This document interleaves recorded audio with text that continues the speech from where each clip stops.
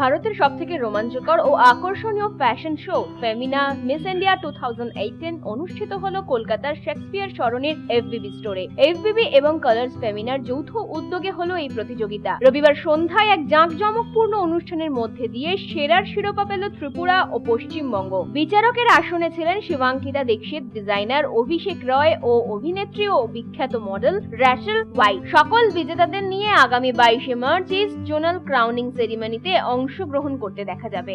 Report K news.